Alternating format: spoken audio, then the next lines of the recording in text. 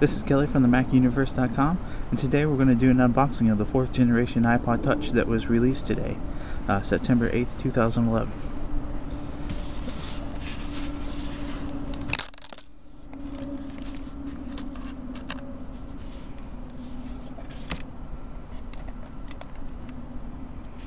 And they're using a new method to keep the iPod Touch in the plastic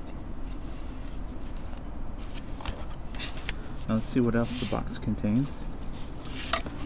It looks like a manual called Fingertips.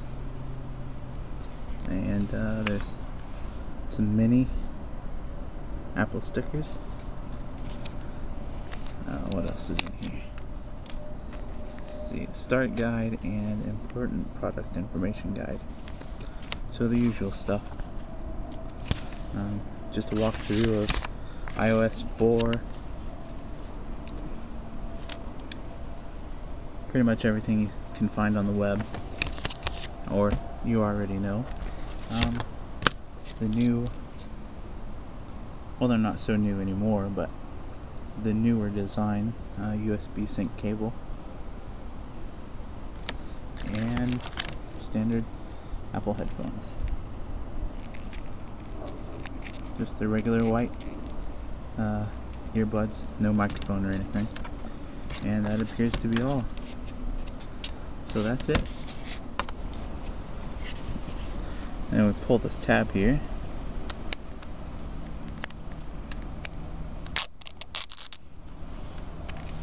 You gotta pull these up.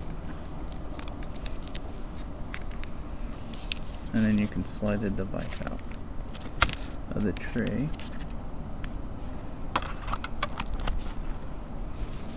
And then this is just a sticky a sticky back.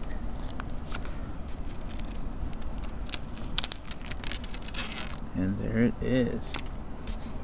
And I've already turned this device on so I don't know if you can see it out here. But there we go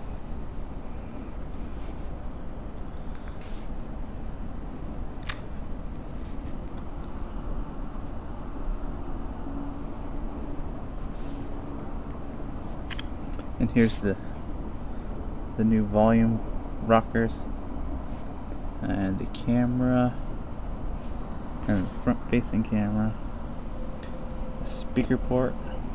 Dock connector and audio jack. And also the microphone is right here.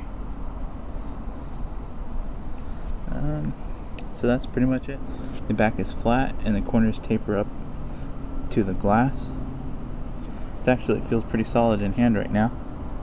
Uh, the volume controls might take some time getting used to since they're on an edge instead of actually having a flat surface or a rocker to uh, adjust the volume. But and that's the iPod Touch.